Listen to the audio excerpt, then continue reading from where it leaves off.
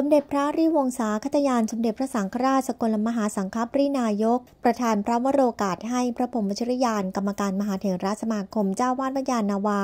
เฝ้าถวายสักการะเนื่องในโอกาสเจริญอายุวัฒนมงคล 82 ปี เนื่องในโอกาสเจริญอายุวัฒนมงคล 82 ปี พระพรหมวชิรยาน กรรมการมหาเถรสมาคม เจ้าวาดวัดยานนาวา